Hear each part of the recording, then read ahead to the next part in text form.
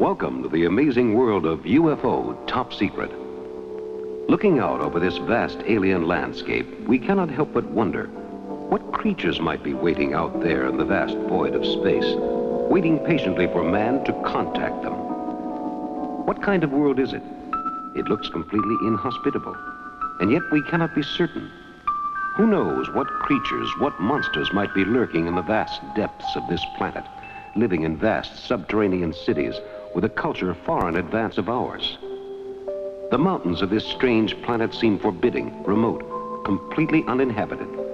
But in the vast design of space, this planet is only one small cog in a vast galaxy of stars and possible alien life forms. What's that blue glow out there in space, that deep and mysterious aura which we see phosphorescing in front of us, turning the blackness of space into an eerie fireworks of unearthly origin? As we watch, the aura changes colors, turning from blue to red, shifting through all the colors of the rainbow. What is this strange glowing light? Is it a beacon from an alien civilization telling man that he is not alone in the uncharted depths of the universe? Or is it some natural phenomena, cosmic dust, gas, or some passing shower of meteor dust? Glowing in white-hot intensity, the aura changes colors again to a blazing white, now it collapses into nothingness, fading back into the distance as our Earth passes in the foreground. What was it? Perhaps someday we will find out. But perhaps we will never know. Did anyone on Earth see this strange display from outer space? And even if they did, do they have any way of knowing what forces were behind this strange cosmic manifestation?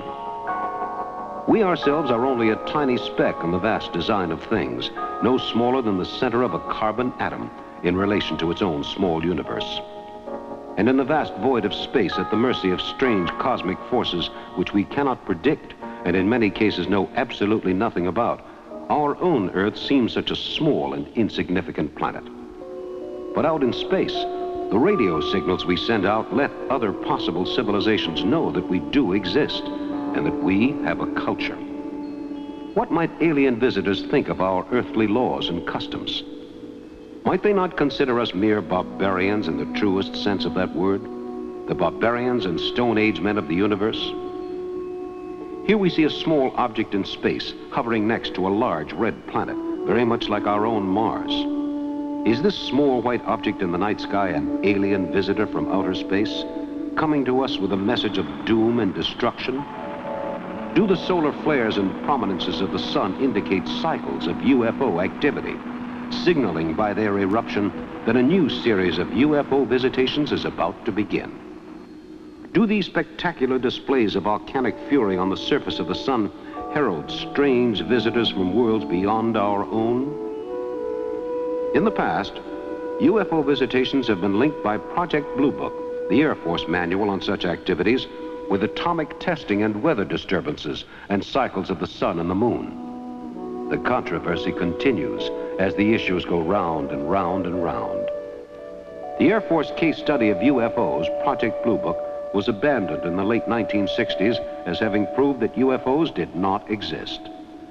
But even though the Air Force abandoned all research into the subject of UFOs, the rumors and reports of UFO activity continue to the present day.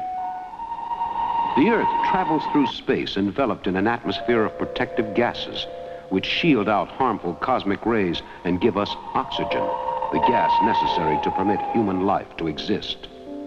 Only on Earth does oxygen exist in large enough quantities to support life as we know it. But what about a life form unlike our own? Could it not exist in a very different atmosphere?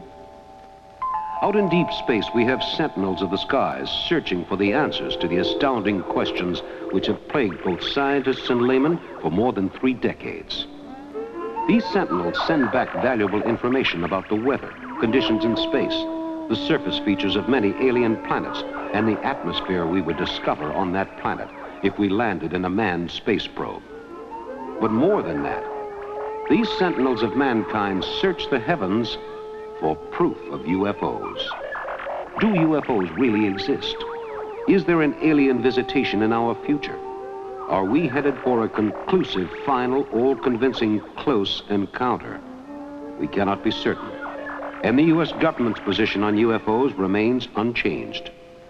But as the days go by, reports of UFO visitations continue to flood into newspaper offices, police stations, and the military. Just as in the case of our mysterious glow from space, there are many questions to be answered. What exactly are the UFOs that we read about in the newspapers and hear about on TV? What causes all these reports of UFO sightings and alien visitations? Are these sightings easily explained away as weather balloons, other natural phenomena, or publicity stunts and media hoaxes? Or do these UFO sightings represent genuine proof that we are being visited by creatures from other worlds? As far as we know, Earth is the only inhabited planet in the entire solar system. But how can we be sure? How can we be certain that the Earth is just one of many planets, all inhabited with their own races, waiting for us to contact them so that we can all join hands and be neighbors in the universe? What's that strange, mysterious spacecraft behind that crag? Is it one of our spacecraft, our vanguard ship for an alien invasion? No. It's only one of our own Earth exploratory probes which we send out to sample the soil and weather conditions on alien planets in preparation for a manned visit to the planet. The sensitive instrumentation on board the space probe sends back information which will be of vital importance in deciding our future space program.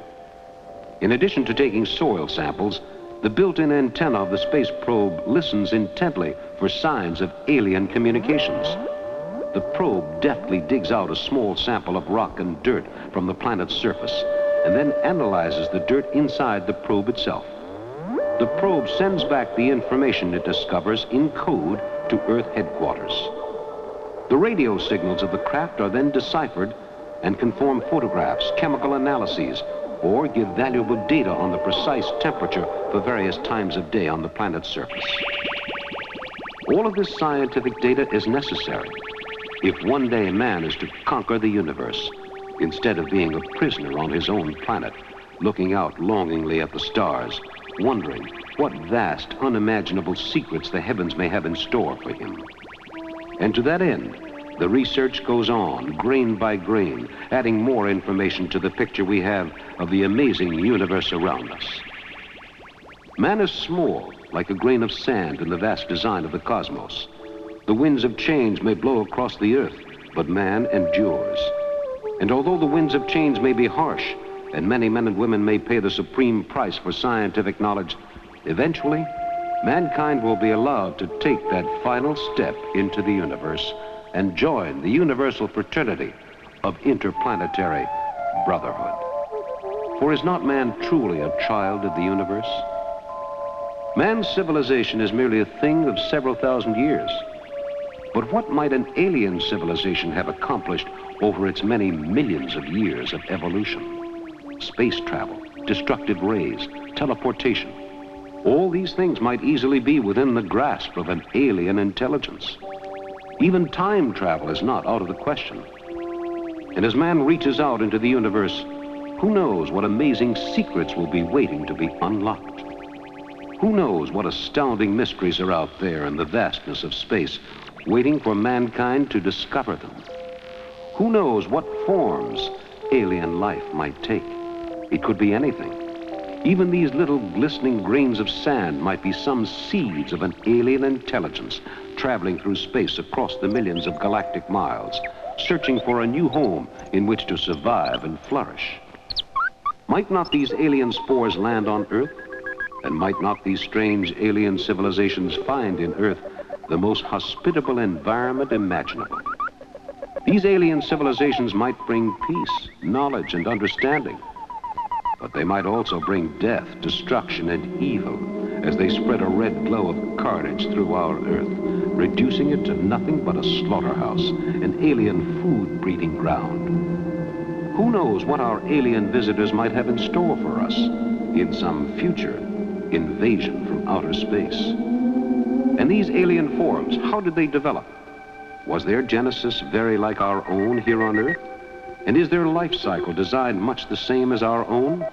Or do these alien visitors need little food, no air, existing only on rocks or some gas which is deadly to us? Who can tell what sort of life one might find on a distant planet far beyond the boundaries of our own solar system? In all the vastness of the universe, we have no way of knowing what our future visitors might look like or what their motives might be. Our alien visitors may come in peace, or they may come to fight a battle to the death. And who do you think will win? If the aliens have a civilization advanced enough to permit them to travel freely from planet to planet, who can tell what sort of horrifying weapons they might possess and what regard they might not have for human life forms? Perhaps they would look at us and see only a race of ignorant savages bent on self-destruction. What will save us then when we have been condemned by our own interplanetary neighbors to an existence of servitude and enslavement, furnishing food or labor for a vast alien occupying army?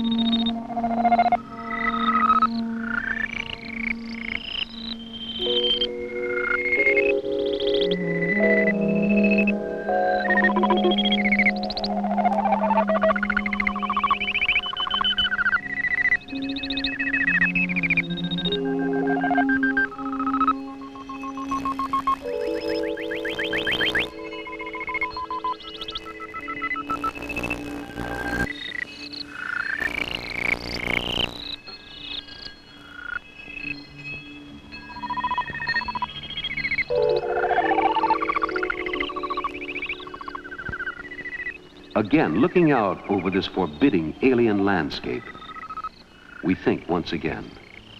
Perhaps this land was once populated by a race not unlike ours. And what happened to it? No one can be certain. Did a UFO buzz the presidential helicopter? On June 17, 1978 at 1.30 p.m., Jimmy Carter took off from the White House lawn in his presidential copter. A passerby snapped this picture of what appears to be a UFO trailing the copter. True or false? We can't be certain. This skateboard UFO was seen from a plane over Staffordshire in Britain on April 1st, 1966. This is a frame from an 8 millimeter home movie. Is this a UFO? No explanation has ever been given for this photo. This UFO was photographed in September of 1973 by a professional news photographer near Pelham, Georgia. Does this picture show a UFO in flight in the night sky? This photo, taken during the early fall of 1973, also near Pelham, Georgia, also shows some unidentified flying object in the night sky, something which the Air Force could not explain. Is this an alien ship investigating our planet? Is this a photograph of an alien visitor? This picture was taken on a highway in the deep south and has never been explained, although the photo was subjected to intensive analysis. Is this an alien visitor signaling us of his existence? In this photo, we get a clearer picture of the creature. Note how the creature glows and sparkles in the night blackness. Is this because of his skin or because of a protective atmosphere he has around himself? These mysterious balls of fire were seen floating in the night sky over St. Vallier de T, France. This photograph was taken in 1966. What are these strange messengers from the skies? Are these UFOs? These glowing flying saucer shapes were photographed in May of 1957 over Yokohama, Japan. They flew in a classic V formation, as UFOs have done in many documented UFO sightings. Are these saucers visitors from outer space? These six UFOs were photographed near Tombstone, Arizona in 1968. They flew over the desert for hundreds of miles and were viewed by many reliable witnesses. No explanation has ever been advanced for these strange glowing objects in the skies. These saucer-shaped UFOs were seen over the airport in Omura, Japan. UFO sightings often take place near nuclear power plants, test sites, and near airports. Are UFOs keeping tabs on our nuclear progress and our air transport system? This astonishing photograph of a UFO was taken near Picacho Peak, New Mexico by a passerby who happened to snap the picture with his small camera. No satisfactory explanation for this photo has ever been advanced, and it joins the ever-expanding files of UFO visitations. This incredible photograph was taken by a flight attendant at the famed Orly Airfield near Paris, France. While loading a plane with passengers and supplies, the attendant looked up to see this blazing UFO directly above him. This is a very early photograph of a flying saucer-shaped UFO taken in the Zoological Gardens at Basel, Switzerland in 1907 and shows a clearly unmistakable UFO shape. This photo has defied any attempts at analysis for over 40 years. This dark spherical craft was photographed following a bomber of the Japanese Imperial Navy during World War II, photographed in 1942 by the Japanese Ministry of Information. The Japanese government circulated the photo widely, but could find no explanation for it. Do UFOs exist? What are UFOs? Where do they come from? What do they want from us? Man has asked these questions for decades and is still searching for additional information to help him answer these important puzzling questions. Technically, a UFO is an object that refuses to identify itself to authorized personnel on the ground or in the air and is therefore known as an unidentified flying object. But although the Air Force likes to hush up the number of UFO sightings which have taken place since World War II, the fact remains that although the official government file on the subject of UFOs is closed, the controversy rages on today more strongly than ever before. Every new day brings us additional information about the astounding solar system around us. What is that strange object circling this sun of a distant solar system? It's not a planet. Any planet that close to the sun would be pulled into its gravitational field. Our own sun is a boiling mass of molten lava and volcanic gases spinning dizzily in the heavens at the center of our solar system. Mankind maps the sun and tells from a study of the sun's spot patterns and eruptions what changes will occur in earthly weather patterns. But there is an additional connection between sunspots and volcanic activity and the number of UFO sightings which ordinarily occur. At that time, when the sun is at its most volcanic fury, with a great number of sunspots and disturbances, the number of UFO sightings dramatically increases. Could there be an alien civilization living at the core of the sun? Or a control center at the core of the sun which guides alien ships on their nightly visits to Earth. We know the sun's exterior is molten, but could there be a cool core at the center of all that volcanic activity? What a perfect location for alien scout ships to depart from, undetected, unnoticed, and close to the Earth, as well as the other planets. Who can tell? Is there an alien civilization at the center of the sun? What is the connection between the activity on the surface of the sun and cycles of UFO activity? Similarly, when the moon is full, the number of UFO sightings dramatically increases. Is this coincidence, or is it a real link in the UFO question? Spectroscopic analysis of photographs of the sun taken by telescopes and other space probes which pass close to the sun may give us some answers to the question of life on other planets. But the more we know, the more the mystery deepens.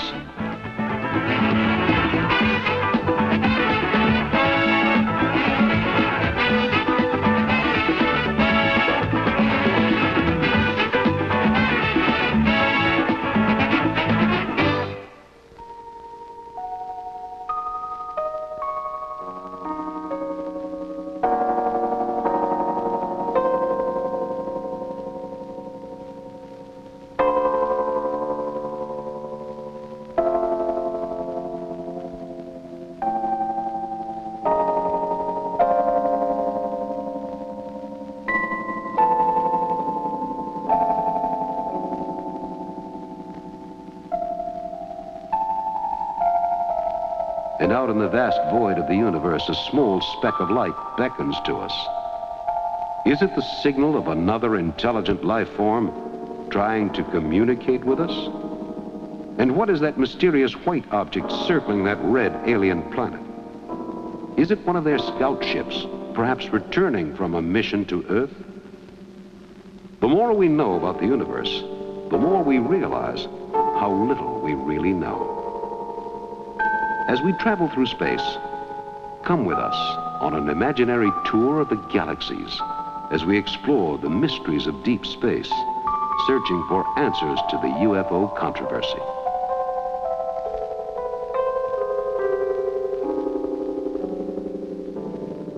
What's that spiral of cloud dust ahead of us? Is it another galaxy? Another corner of intelligent life in the vast, illimitable void of the universe? Is it the home of an alien civilization far advanced from our own primitive culture? In observatories around the world, scientists keep watch, looking for a key to unlock the mysteries of the universe. What are these mysterious rays from outer space? Are they a communication from an intelligent alien visitor? Are they probe rays which chart the surface of our planet for some alien cartography mission?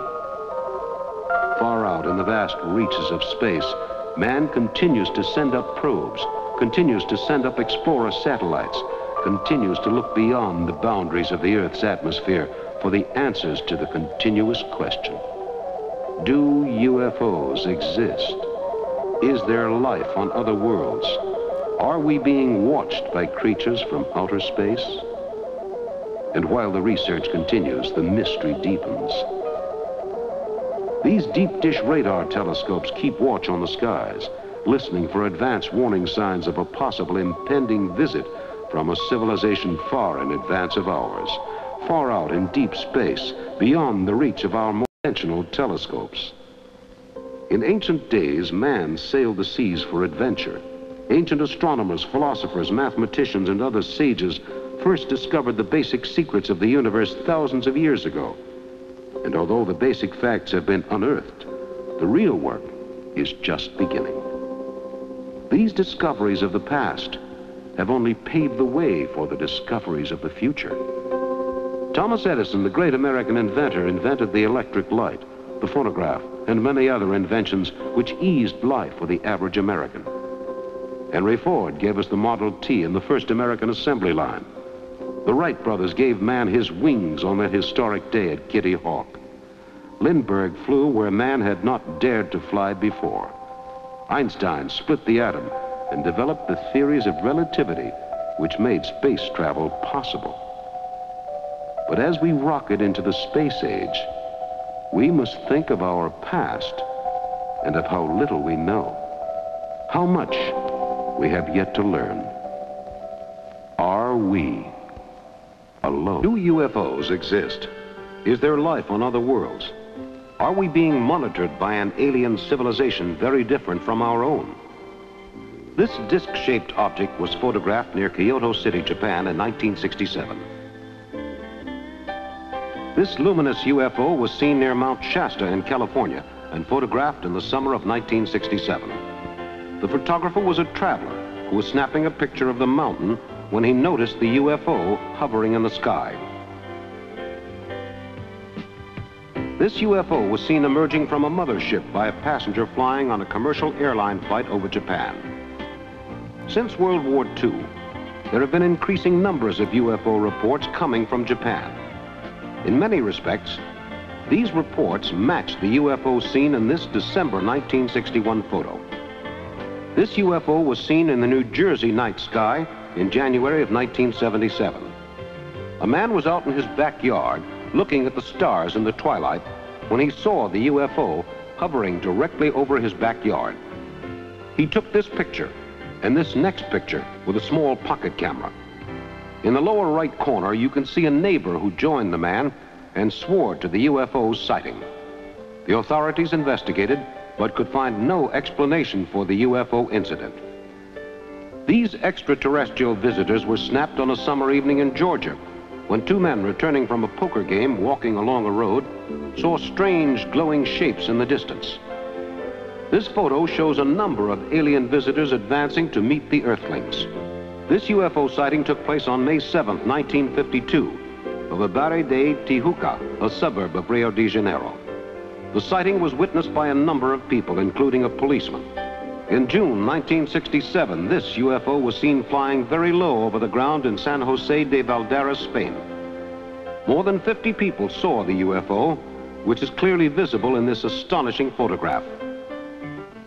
Although man has conducted studies of the planets costing many millions of dollars, our equipment is still in a very primitive state. Consider that these photographs are the clearest we have of our planetary neighbors. At Mission Control, scientists help keep watch over the vast technological display printouts which spew forth the information collected by our silent sentinels in the skies. Patched into the computer, a scientist has a direct pipeline to the cosmos. As changing atmospheric data are monitored, it is instantaneously transmitted back to Earth for evaluation by government scientists. In addition to assembling weather data, these sentinels of the skies plot possible trajectory patterns for manned satellites, which will survey the Earth and the heavens. And far out in space, who knows what we may find?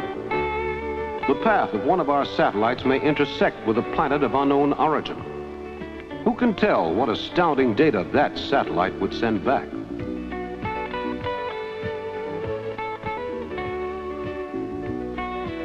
And the research goes on, with the cost reckoned into many billions of dollars.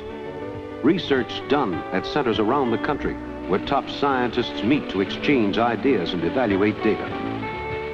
In a relaxed, informal atmosphere, scientific research involving the use of computers encodes and sorts the many millions of bits of information which have been assembled. Weather conditions, atmospheric data, lifespans of stars and galaxies, and puts all of the data into meaningful evaluation. With their photographic receivers, scientists can now have close-up photographs of a planet within 15 minutes as probe satellites spinning by an alien world snap off pictures which are transmitted in color back to Earth on a radio beam. These pictures give us a much more accurate idea of what our universe really looks like.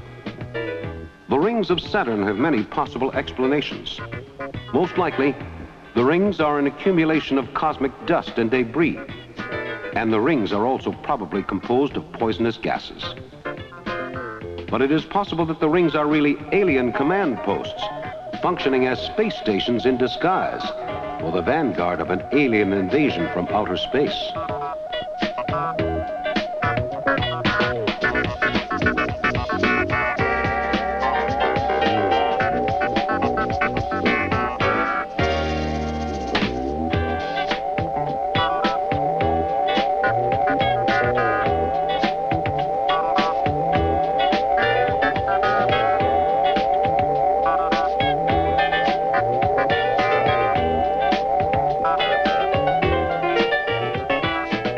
Out into space, we pass through a universe of multicolored stars and mysterious drifting asteroids, which are completely uncharted.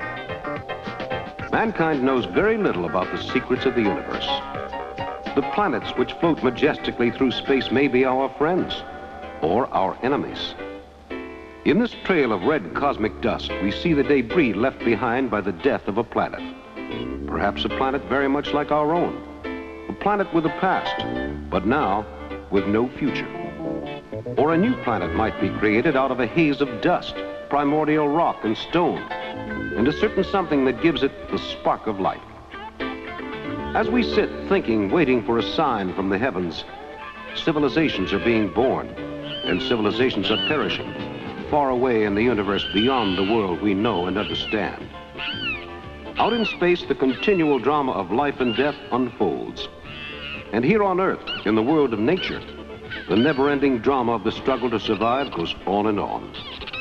In the morning, in the quiet serenity of a marshland on the coast of Maine, the world seems at peace, fulfilled, rewarding. The world of man seems very far away. But man continually intrudes upon the world of the natural, putting his own enormous planes into the air, crowding our skies with millions of planes, leading to accidents and destruction, through poor management of our natural resources. Man, who hoped to mimic the flight of the birds, has become a polluter of the skies, mocking the serene natural order of things in the universe. How long can an alien civilization watch how we squander our resources and not speak to us? Or attempt to instruct us, to teach us the way of harmonious communion with the universe?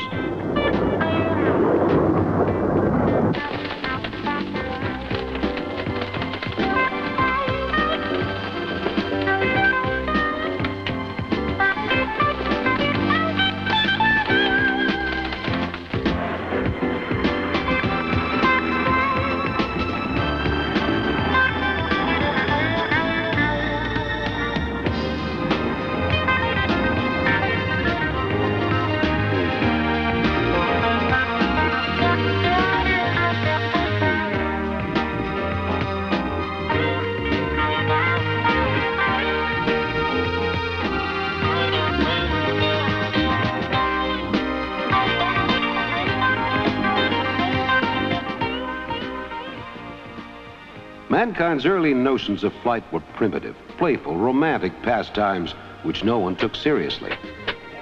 Man's early attempts at flight were bumbling comic affairs, which seldom worked and aroused more scientific contempt than admiration. Consider that these films of the early days of flight were taken only a half a century ago. Consider only how recently man stepped into the race for space. How primitive we must seem to some alien super civilization. Our early dreams of flight were cruel mockeries of the concept of heavier than air travel. But bit by bit, the picture was changing. Mankind has always been a modifier, a designer, an experimenter. And now he has improved upon the basic design of the early flying machine and created planes which led him onward into a series of aerial triumphs. First, the early planes, and then the race for space. Science fiction now, but in the future, who can say? This huge extraterrestrial tanker is mining the surface of an alien world for much needed mineral and fuel supplies. In our sophisticated technological future, our primitive early steps into the world of flight will seem pale indeed. And every day, new designs for the spaceships of the future come off the drawing board. Our own aircraft have developed into sleek stratospheric supersonic fighter planes capable of traveling at many times the speed of sound. Perhaps one day mankind will be able to travel at the speed of light.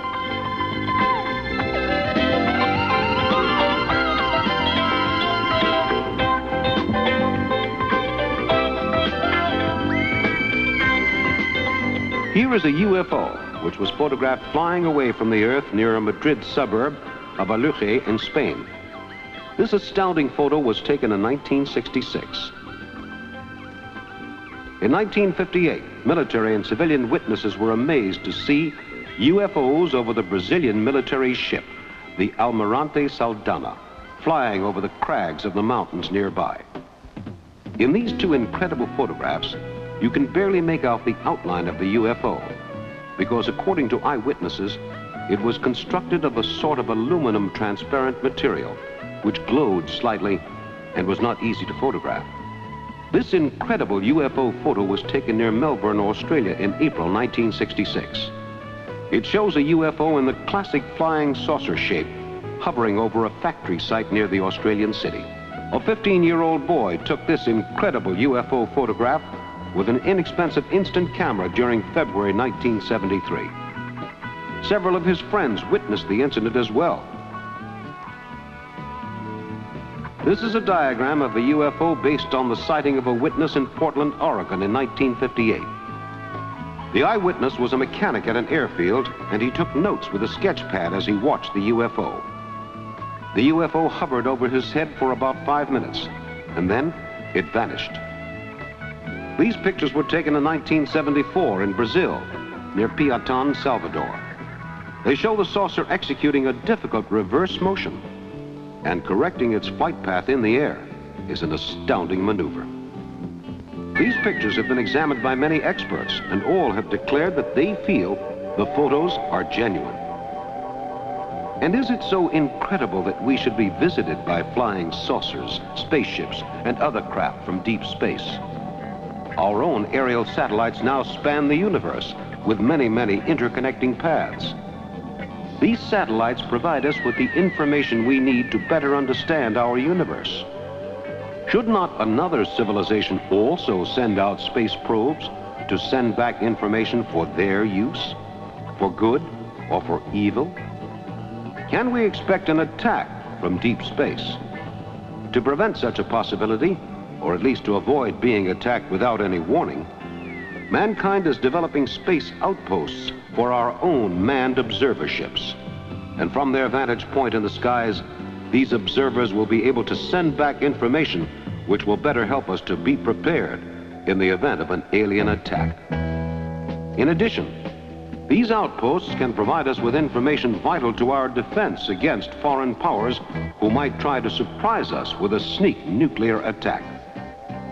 The many monitoring panels of the spacecraft send back much vital information, taking readings of the temperature, atmospheric composition, and also continually monitoring all frequencies for any possible radio communication by an alien intelligence. Are we being watched by aliens in the skies? With these early warning outposts, we may have a fighting chance in the event of an alien attack. And it could happen. As H.G. Wells foretold in his immortal science fiction classic, The War of the Worlds. As we continue to travel through deep space, we ask ourselves many questions. Many questions for which there can be no answer. Not at the moment in any event. But manned outposts like this one will help us feel more at home in the vastness of the universe. To have a place of refuge from the hostile environment of outer space. For although man may conquer outer space, he will forever remain a visitor there, not a part of it.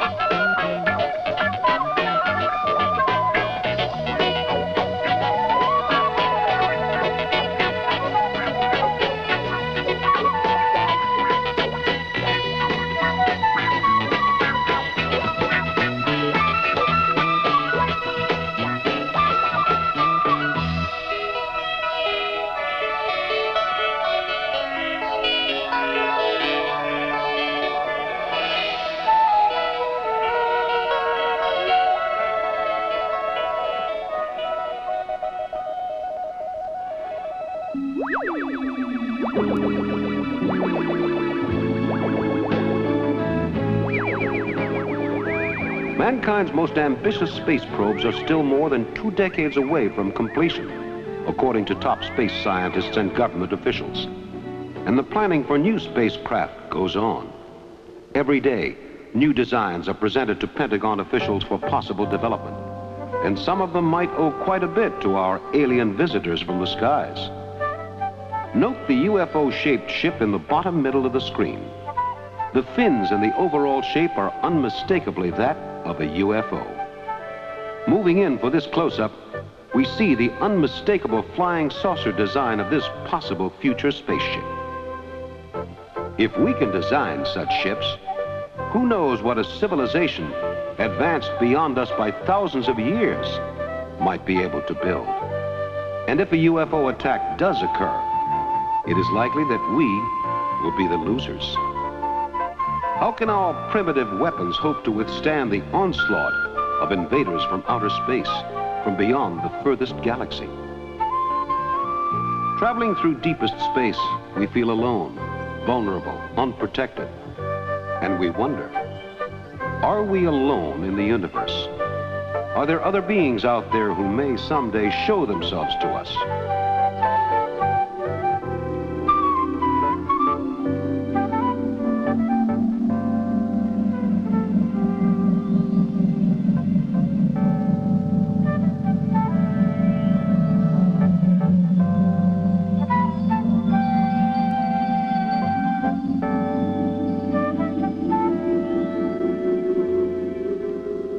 There alien beings waiting for us on this red planet? This mysterious planet beyond our own solar system, yet very like our own planet Mars? Will we see visitors from another planet land on Earth in our own lifetimes? What is waiting for us out there in the vast void of the universe? Waiting for us in the vast, illimitable dominion of interstellar space? Are the creatures there humanoid? Or are they foul, nightmarish apparitions which will come from the stars delivering death? Does the sun affect cycles of UFOs? Is there a link between the sunspot activity noticed at regularly recurring intervals and the UFO reports, which invariably flood government officials after a heavily active sunspot period? These questions still are unsolved and still the subject of further research. And what would life be like on an alien world? What would their values be? What would an alien think of our earthly civilization? What would we think of his civilization? Would we meet a visitor from outer space with guns or with understanding? The future holds many things for us, but there is one thing we can always be certain of. In all the vastness of the universe, it seems unlikely that there is not some other form of life out there waiting for us.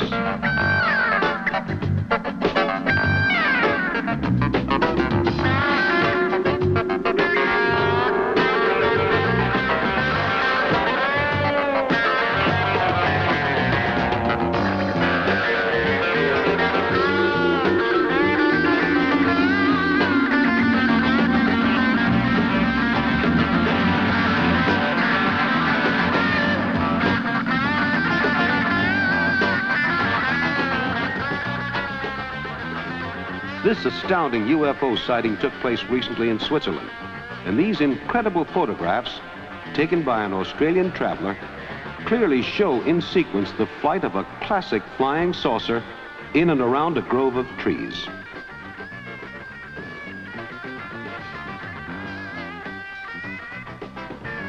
These pictures have been subjected to exhaustive analysis and found to be completely genuine by most respected scientists and UFO researchers.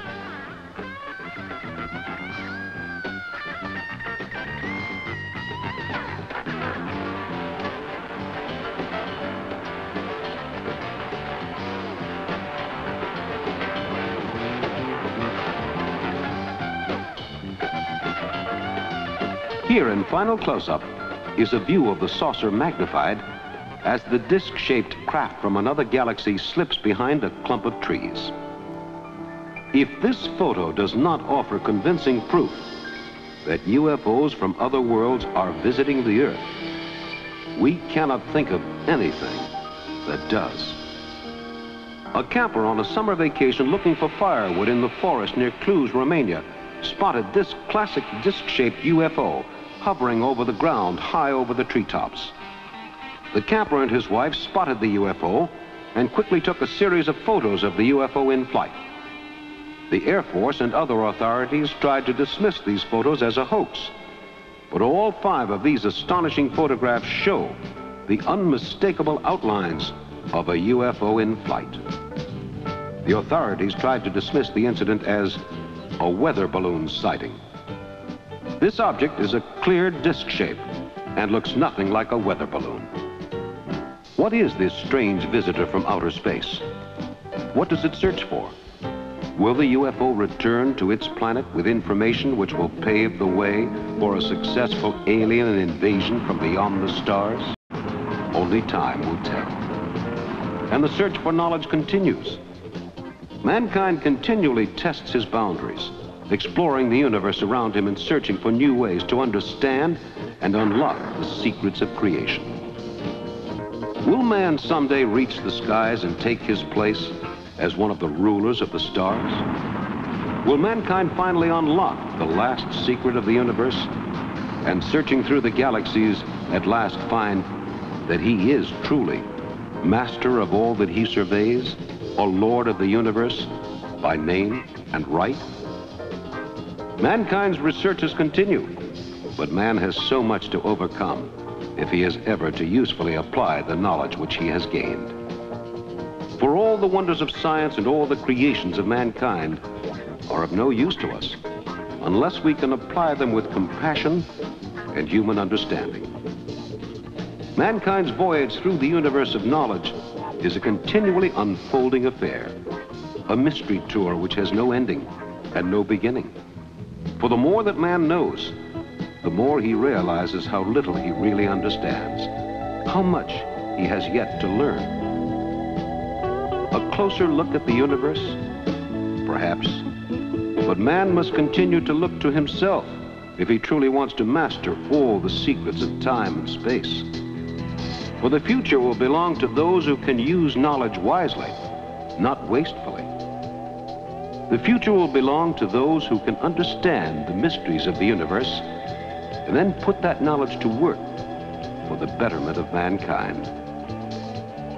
Man is still a long way from being the ruler of the skies, but he is getting there. And as scientific research continues, the questions multiply. What is really out there in space who might be listening to our radio broadcasts and monitoring our thought patterns? Who might be out in the vastness of the universe searching for the answers as much as we search for the same answers to the riddles of creation right here on Earth? In the years to come, scientific research must face the continuing challenge of space travel as mankind moves forward in the race to conquer the universe, spurred on by the internal political tensions of the globe and man's own quest for knowledge. Man can learn to live in space, but he must adapt. He must adapt or refuse to and not survive. All of the craft that man flies in space must be subjected to an endless series of quality control tests, and all the parts of rocket ships are manufactured to the closest tolerances that man can imagine. Mankind reaches into space, and by reaching into the secrets of the cosmos, he is reaching into the innermost secrets of his own creations.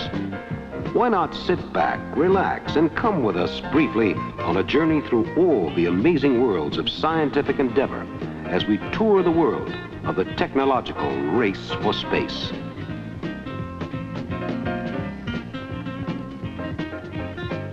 Mankind subjects himself to continual tests of endurance, submitting himself to many G's of gravity in tests designed to see how long a man can endure in space.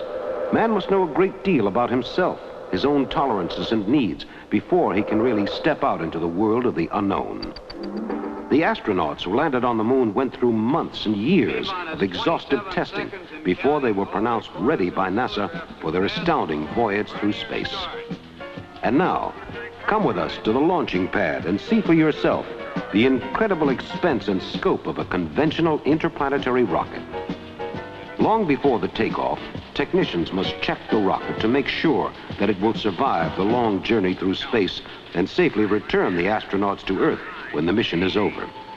The technicians know that human lives hang in the balance, that human ambition and human endurance are only as strong as the equipment which men must use to take them from the pull of Earth's gravity.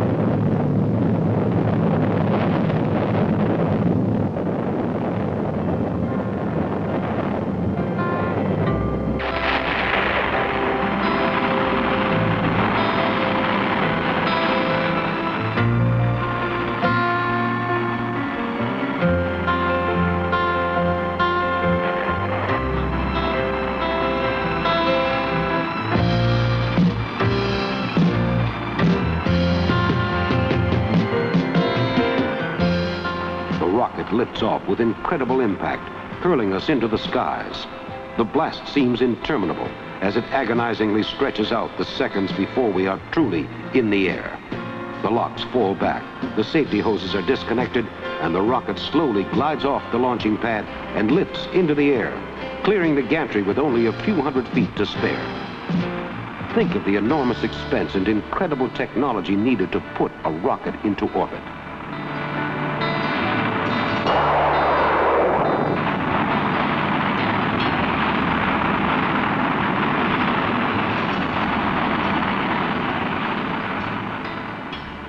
The men, the thousands of man hours, the work and the sacrifice so that man may conquer the stars.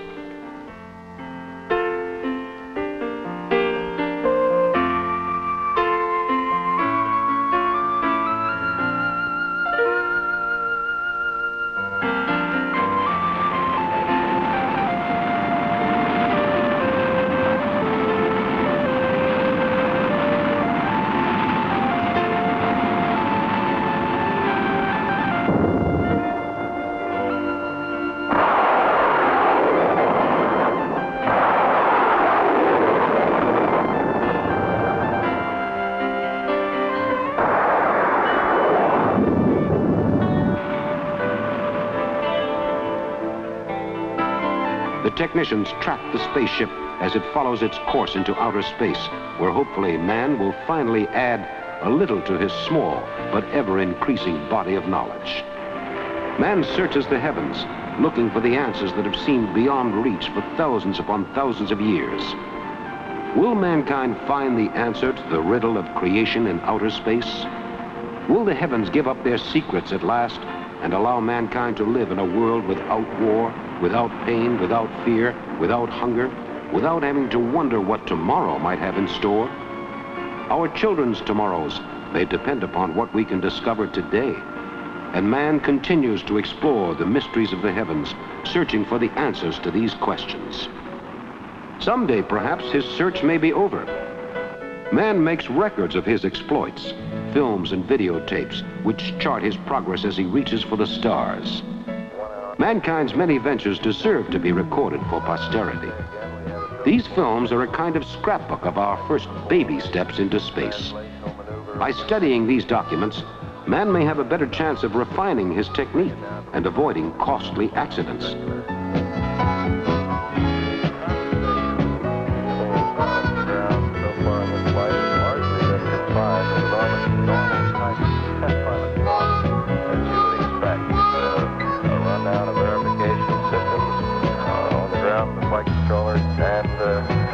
Orbit from uh, either John Young or Gus Grissom. We've heard almost nothing from John Young. But man continues to dream and continues to build, functioning best perhaps when the odds are heavily stacked against him.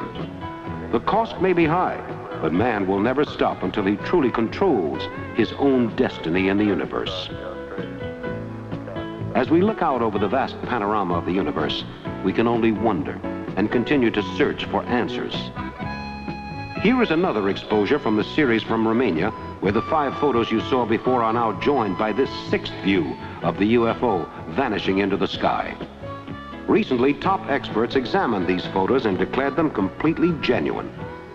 This is a sketch made by a Georgia man who witnessed a UFO in the summer of 1973. The witness said that the UFO hovered over him a few seconds, then changed direction and started back across the road in front of him and then vanished. This is a final view of the Zurich, Switzerland UFO series, and once again it shows the clear outline of the UFO as it landed and then took off from a small woodland grove in the Swiss mountains. This photo is considered genuine by many authorities. Here is a picture of a UFO which was recently seen over Los Angeles. Witnesses said that the object hovered in the air, then moved in an elliptical pattern away from them, then suddenly vanished in the distance over the mountain. This UFO sighting took place in Ohio, where a man out mailing a letter came upon this UFO in the sky in front of him not more than 500 yards away. He quickly took this picture, which has defied expert photo analysis and is considered genuine. This UFO sighting took place in China in 1944.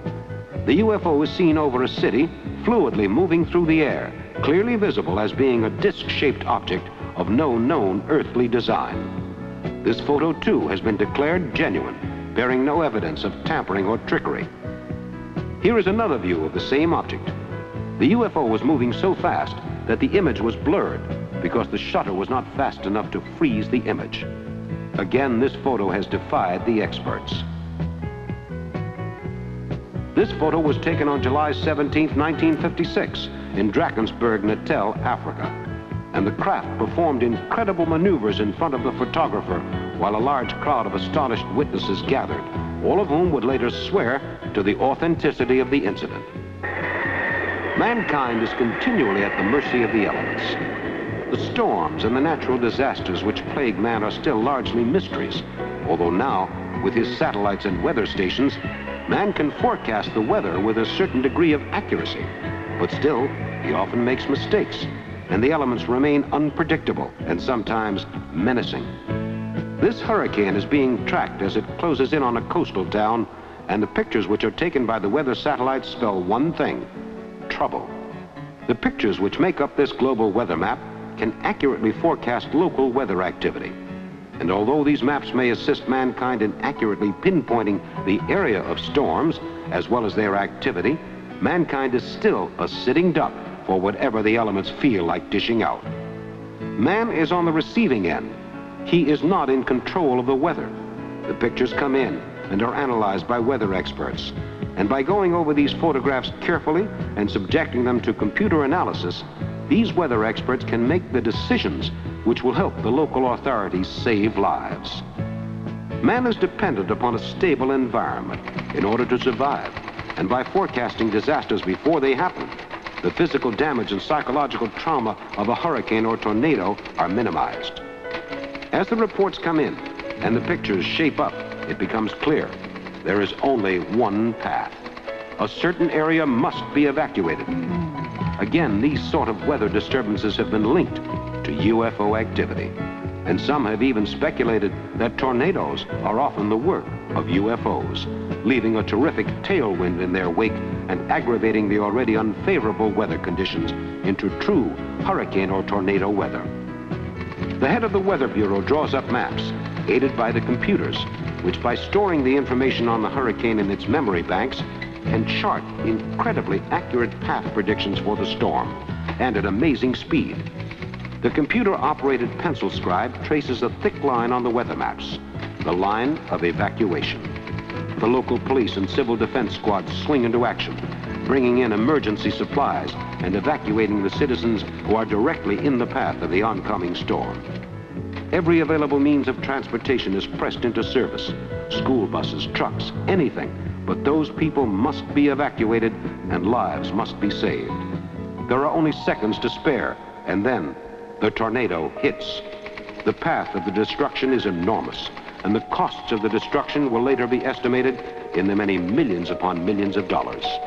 But at least there will be no human lives lost because of the destructive fury of the storm. There is nothing that can be done for all the property lost, but the people are safe. Until next time. The fury of the storm is incredible, ripping up beachfront and destroying lifelong possessions and property. But look at the whole thing from a cosmic point of view. What does it matter in the vast design of the universe? These events matter nothing in the overall cosmic scheme of things as mankind struggles to understand the secrets of the universe, although plagued by disaster and sickness at home. In the larger view, the affairs of man are of little consequence. Mankind's trials and tribulations are just a split second in the life of the universe, a life which is reckoned in the millions of years. Who can say what is really as important in the scheme of the universe as a human life? Except perhaps an alien life somewhere out there in the illimitable vastness of space. And so our sentinels of the skies, our silent watchdog satellites continue to make pictures, keep records, and survey the surfaces of the planets, assembling the most exhaustive cartographic evidence man can obtain, and giving man a more accurate picture of the amazing universe that he lives in. As we touch down on the surface of the moon, what do we see? We see the many, many rocks, the craters, the seemingly barren expanse of the moon stretching before us in all of its glory. But what is beneath the surface of the moon?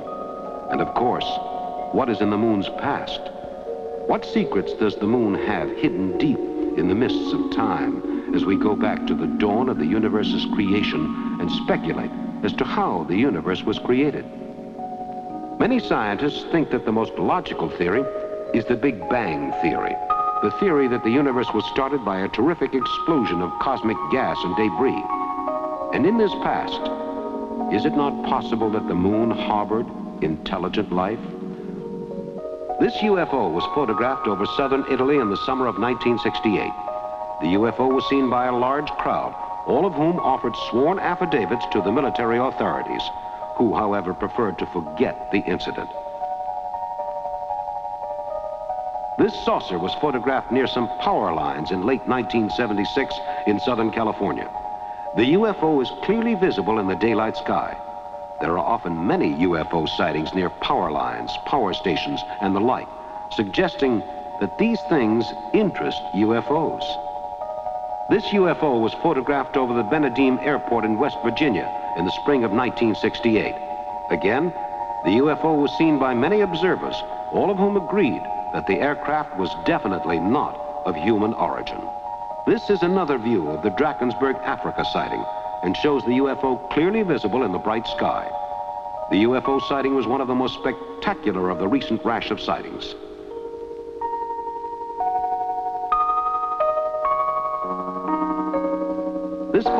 UFO near some power lines, again, was taken in California in the fall of 1976.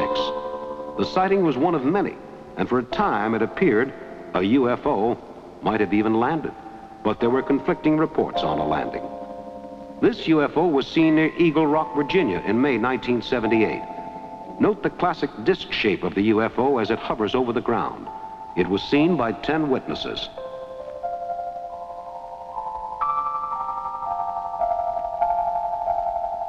This UFO was seen over Prince Edward Island in July of 1976.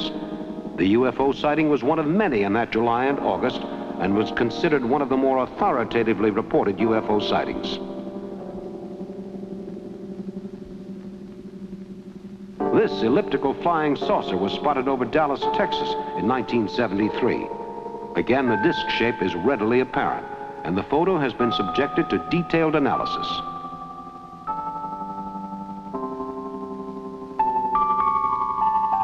This UFO was photographed off Nantucket, Massachusetts in the summer of 1977. Again, the outline of the UFO is unmistakable.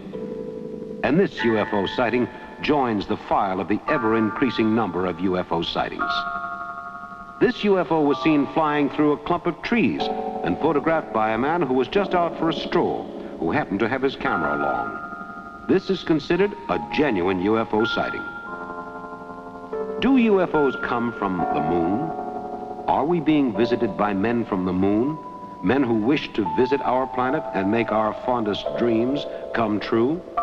dreams of interplanetary peace and harmony, dreams of dominion beyond the stars as we take our place in the order of the universe. These maps show that perhaps a civilization did exist on the moon, but that civilization is perhaps just a memory we mentioned a while ago. The vast barren expanse of the moon's surface may yield up a vast treasure trove of knowledge on the secrets of the universe, but it may also serve as a grim warning to mankind that we must wisely use our knowledge or perish. Mankind's brief walk on the moon did not really change anything. It simply made man more aware of his responsibilities in the universe. The trip to the moon and the eventual exploration of the planets beyond the moon and the planets in our solar system is a necessary first step in the understanding of the universe.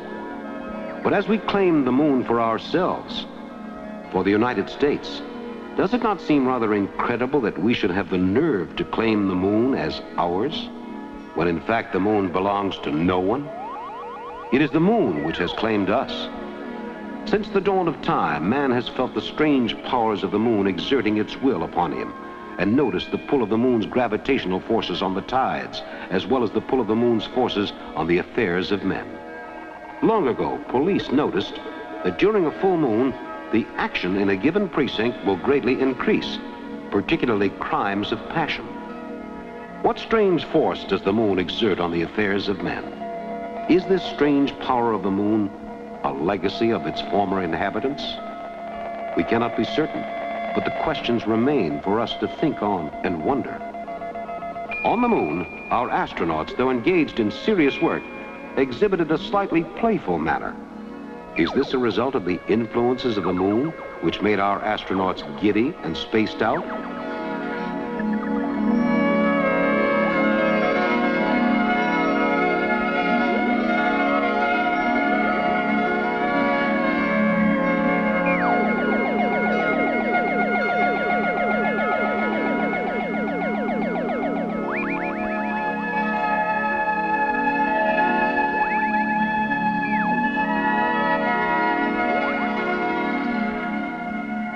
Back on Earth, the engineers of Mission Control keep watch on the mission as they monitor the progress of the mission from the ground.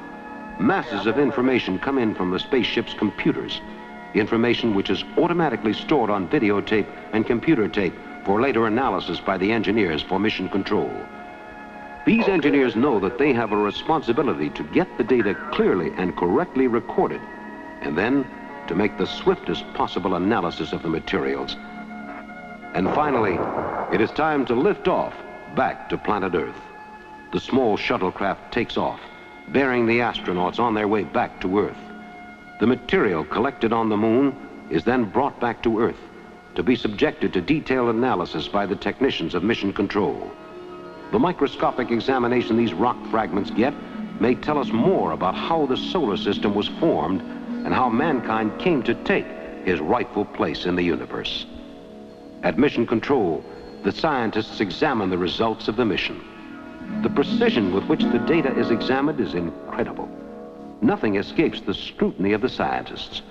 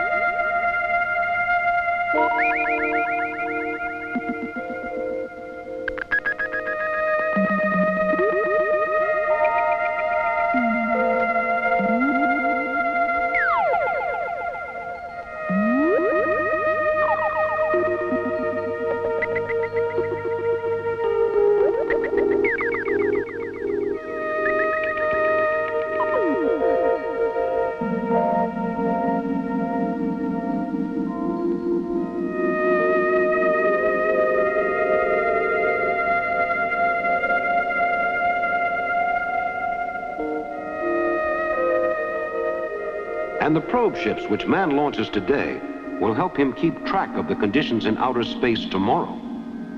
Who knows what additional information these photo maps may bring back?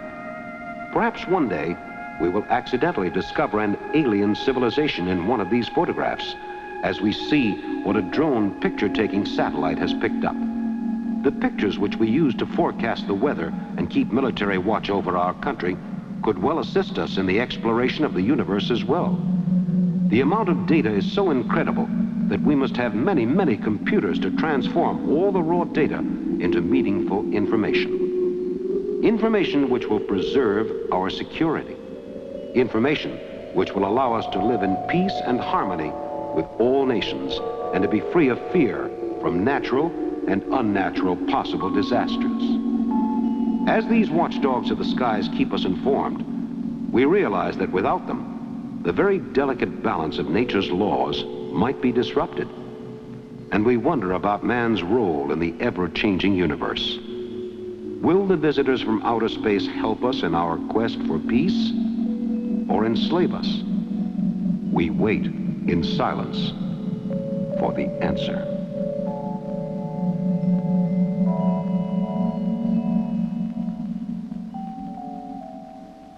Our drone satellites tell us many things about our land. We learn more about our crops and how they grow, about cycles of growth which affect the foods we eat, the grains we feed to our cattle.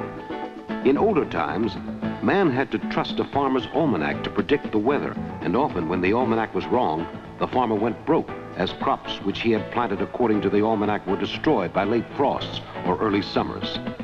This is now all in the past. Weather satellites furnish the farmer with six-month forecasts, which are often astonishingly accurate. Now the farmer can plant his grains with confidence because he knows that the crops he plants can be counted on to grow. These same satellites can do other kinds of surveillance as well. They can be applied to military uses and could be used to scout out enemy missiles in a foreign country. But in addition, these satellites can deliver clear pictures of residential areas and facilitate an enemy attack. And suppose the UFOs in our skies are actually the military reconnaissance drone picture satellites of an alien civilization. These satellites could send back clear pictures of all of Earth's defense system to an alien civilization and pave the way for an alien visit or attack. Man can use the satellite pictures to help him to control pests which plague man's agriculture and which cost millions of dollars annually in lost crops and damages to fields. In addition, computer technology crossed with agricultural husbandry enables man to produce many millions of silkworms, which spin fabrics used in some bomb sites and in many part synthetic blend clothing products. But these computer biological skills can be used for far more sinister applications, as in the development of a series of laboratory clones or laboratory parasites, which might accidentally be released and cause severe biological damage. Perhaps aliens are using computers to help them breed a race of attacking drones, which will permit them to enslave the Earth with effortless technological ease. Man still has much to discover in his search for ways to control even earthly parasites. Recently, during a garbage strike in New York City, the police did not let out the information that because of the lack of garbage pickup, rats were beginning to breed out of control in many areas of the city. The rats were living in garbage dumps and still proliferate in such New York areas as the South Bronx and the poorer parts of Brooklyn. These rats carry the bubonic plague and many other diseases, attack babies in cribs, and have been recently reported at lengths of up to three feet. If man cannot control even such a lowly animal as the rat and the cockroach, how can he hope to effectively combat an invasion in the form of small parasitic monsters feeding on human flesh who would come from the stars to attack mankind from within his own homes. Such an alien invasion would be nearly irresistible, and with the aid of UFOs, these parasites could be introduced effectively and without much commotion. We return to space. It is quiet, all about you, only space. On the surface of the planet below, a rocket ship loads more mineral cargo for the Earth. In the future, we may be able to mine many precious minerals and oil or other products from the surface of the moon, or perhaps Mars. This spaceship has an unusual design and was designed by a noted astronomer and writer in the late 1950s. On the surface of the surrounding planet, it is quiet. Then suddenly, another payload from Earth is dropped to the colonists on the surface of the planet. It is the not too distant future, and we are watching the colonization of the furthest reaches of the universe. The bright sun shines down mercilessly on the planet and makes us cling desperately to our air-conditioned life support system within our ship. For here in deep space, in the midst of the majestic symphony of the moving planets as they whirl carelessly about the solar system, we understand that we are really the children of the universe, bound on a voyage of discovery and knowledge which will lead us onward to a destination which we do not even know the name of. There will be new planets to explore and new worlds to discover. there will be a thousand and one incredible adventures to be witnessed in the new universe as man discovers the secrets of the distant heavens. We move through space with incredible speed, leaving behind our own galaxy, the Milky Way. There are all around us clouds of dust and spectral dirt. They form the vast nebula of other galaxies, galaxies which we will someday explore. We travel through these distant galaxies at incredible speed, moving carelessly among the planets with a rhythm very much matched to their own. In this not too distant future, we have mastered the art of time warp space travel, which enables us to cover great distances in space in very short time spans. There are many, many secrets waiting to be discovered in the astounding and mysterious universe.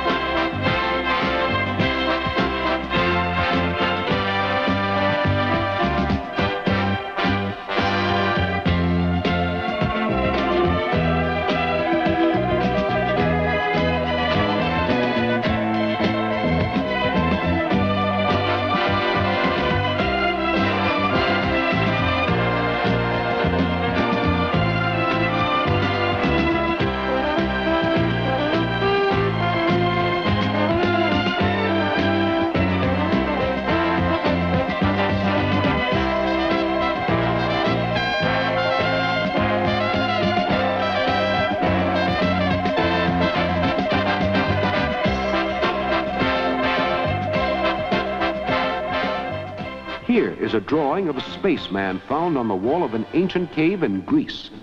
This ancient drawing reveals clearly a thing or form of inhuman origin, similar to the Cyclops of our own mythology.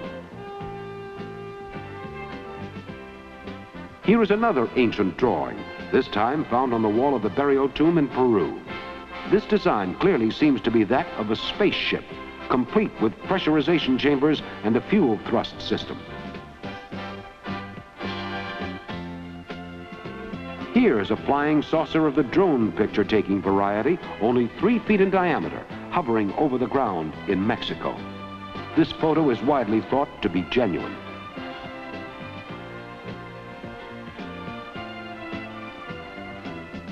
This is the shadow of a UFO and the airplane it was photographed from, taken by an airline passenger in 1963 off the coast of Britain.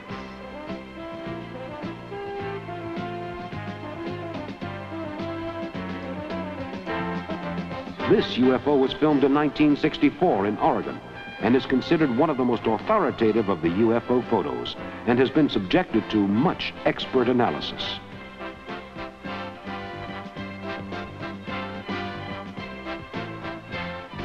Nineteen sixty-five. This UFO was photographed over England by a retired barrister from Kent. The picture caused a sensation in the daily press.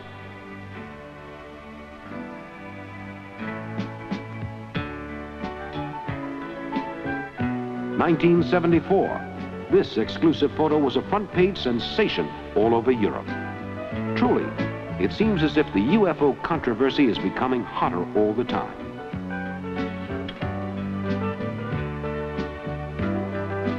In the early part of this century, the Wright brothers took out a patent for an airplane. Their design became the first heavier-than aircraft to fly, and Orville and Wilbur Wright had earned themselves a place in history. In this rare, early archival footage, we see some of man's more serious attempts to conquer the air.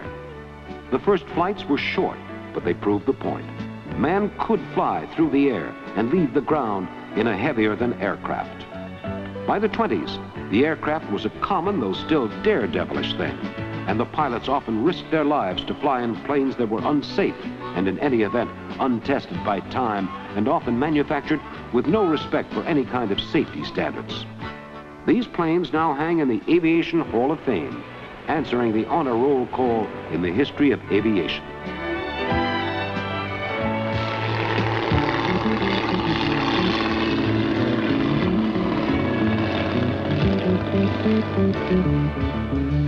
Thank you.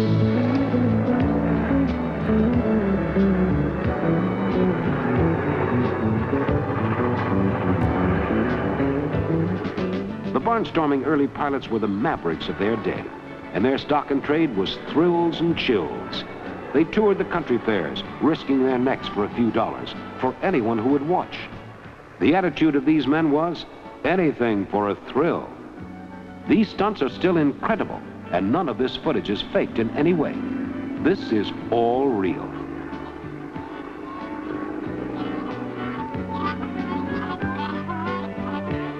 By the late 20s and early 30s, America was flying high, high over the towers of New York, over the stately canyons of Gotham.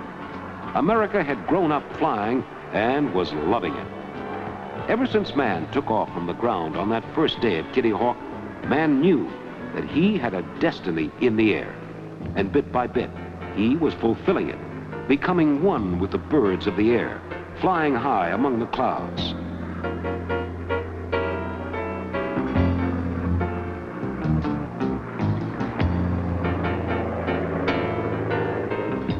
Borrowing the design of his aircraft from the birds, man has created a series of the most exactingly designed planes ever created, culminating in this incredible Starfire jet, which cruises at supersonic speeds and has amazing maneuverability. Here, the jet is tested in a wind tunnel.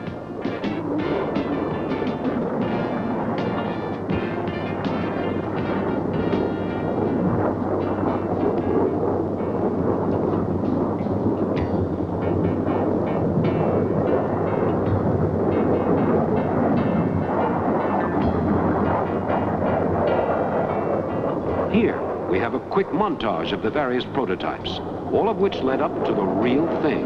Here, being released during its maiden flight in the air, the supersonic aircraft of the future, in the air at last. This NASA experimental prototype is one of the most sophisticated flying machines ever built by man. Here we see the assembly of the space shuttle at the NASA facilities in Houston and Florida. The body is assembled piece by piece, painstakingly put together by dedicated technicians who work around the clock to build the incredibly costly but incredibly necessary space shuttle. This is the first step towards a rocket built for later use and re-entry to Earth.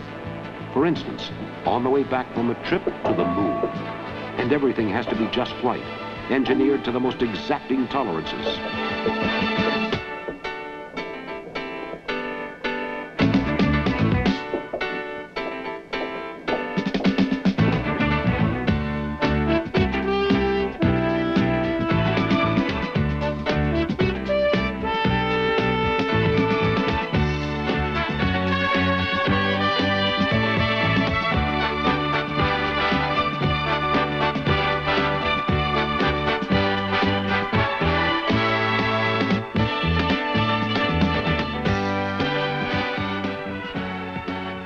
United States seal is proudly emblazoned on the side of the craft.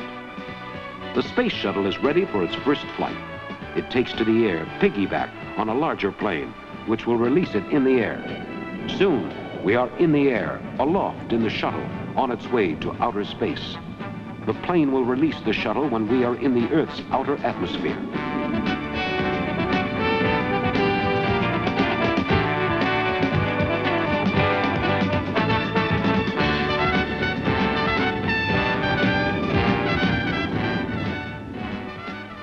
Factories in the NASA complex, the Rocketdyne engine is developed which will power the space shuttle into its voyage to the edge of the universe.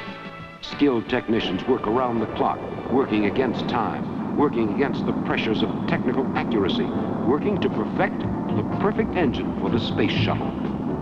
The space shuttle must depend entirely on this engine. Without the engine, the shuttle will fall to Earth, to destruction, perhaps burning up in the Earth's atmosphere. The shuttle can have no backup engine. Therefore, it is imperative that the one engine on which it must depend must be of the highest quality.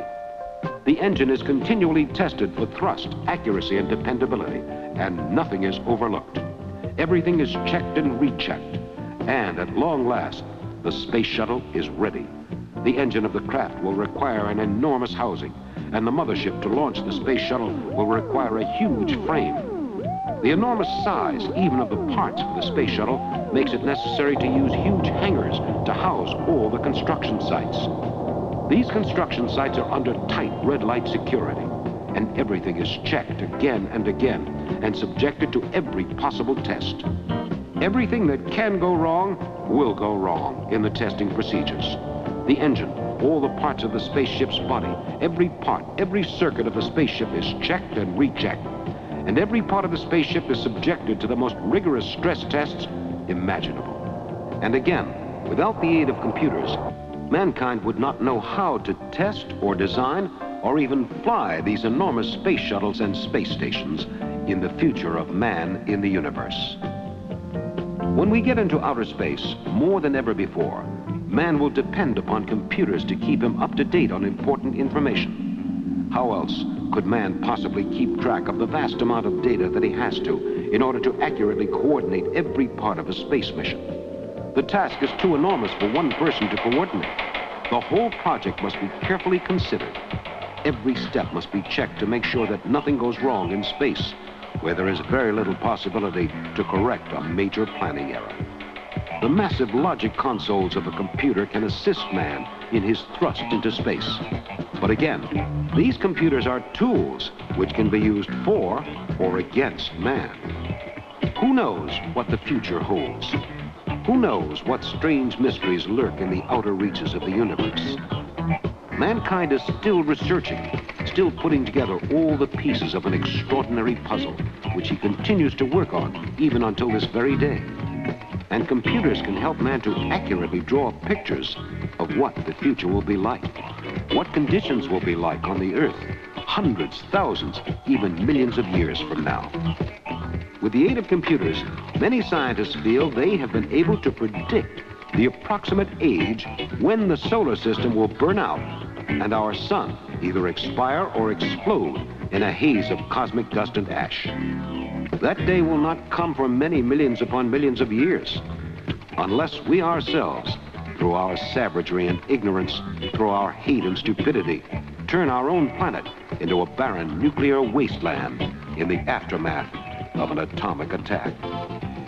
The computers draw charts which help us to better predict what things will be like. But again, we must always remember that the computers are no smarter than the information that we feed into them. That for all the miles of magnetic tape, a machine is still a machine.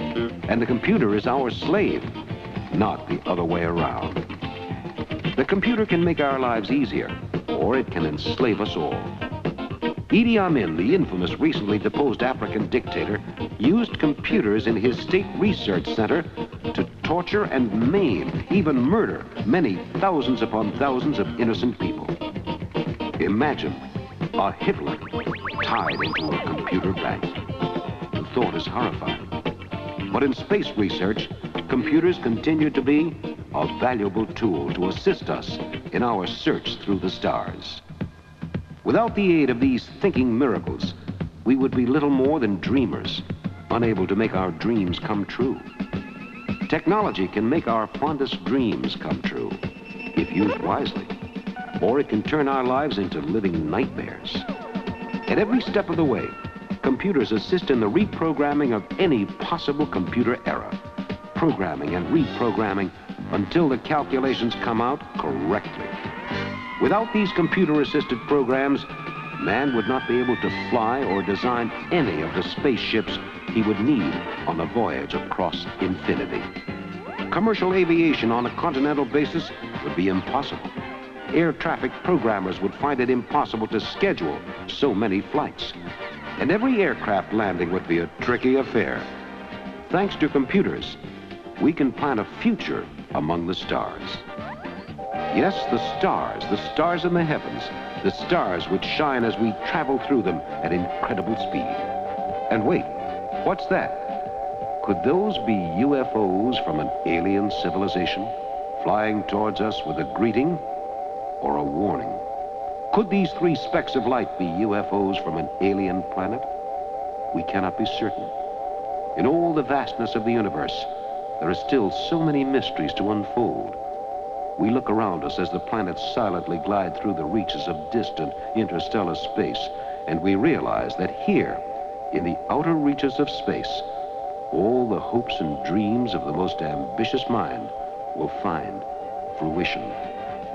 Mankind truly belongs among the stars, if he can reach them. As we silently pass by the planets, we wonder, what sort of alien life forms will we find on them?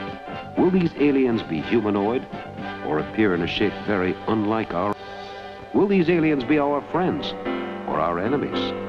Will these aliens work with us or will they destroy us, ruthlessly crushing us in a bloody alien invasion which comes without warning, without a word, an attack with no mercy?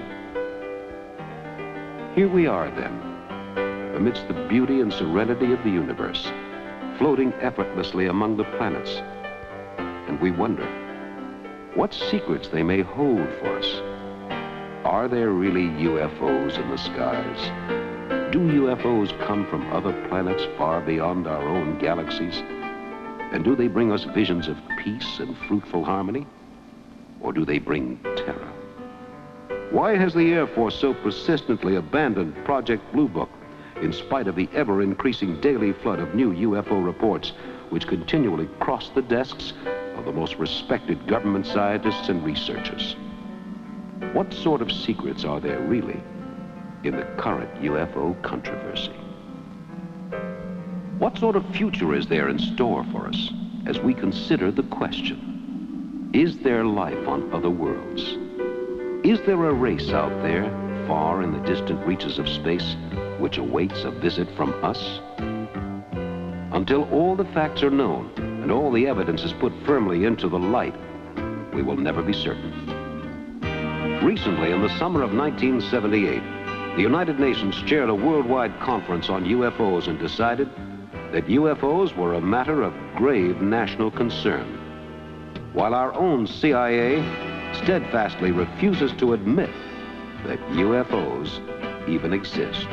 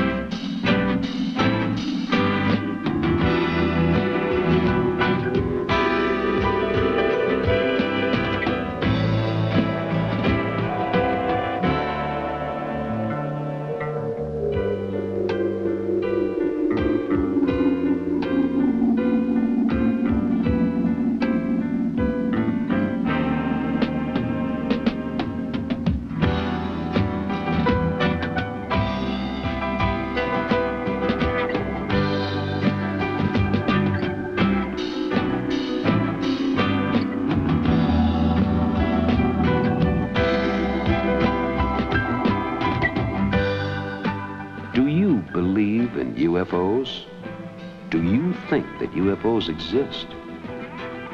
There will be no clear answer until all the secrets are out in the open.